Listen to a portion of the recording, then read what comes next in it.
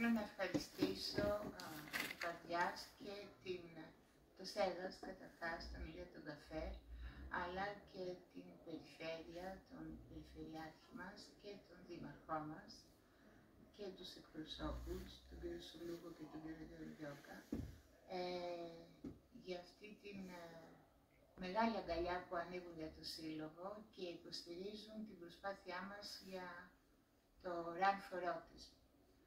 Ε, όλο αυτό γίνεται με αφορμή την ε, ημερομηνία της 2 Απριλίου που είναι Παγκόσμια ημέρα ε, για την ενημέρωση και την ευαισθητοποίηση για τον αυτισμό.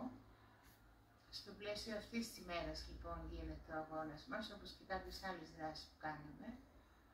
Ε, το πιο σημαντικό για τα άτομα με αυτισμό είναι αυτό που εμείς οι γονείς ζητάμε, είναι η αποδοχή που θα έπρεπε να είναι αυτονόητη, γιατί τα άτομα με αυτισμό δεν είναι τίποτα άλλο παρά μόνο κάποια άτομα με κάποιες ιδιαιτερότητες, κάπως διαφορετικά. Υποτίθεται ότι στην κοινωνία μας πια η διαφορετικότητα ε, θα πρέπει να είναι αποδεκτή. Αυτό που πλέον ζητάνε τα άτομα με αυτισμό είναι η συμπερίληψη.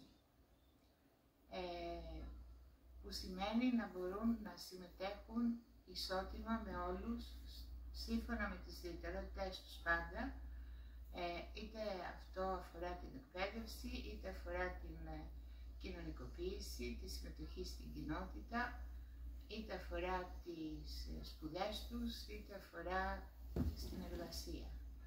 Και γι' αυτό παλεύουμε ε, στο σύλλογό μας με κάθε τρόπο.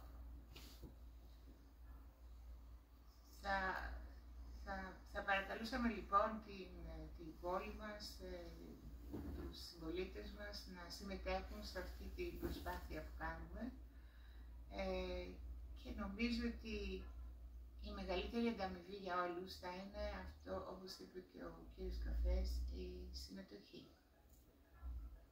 Σας ευχαριστώ.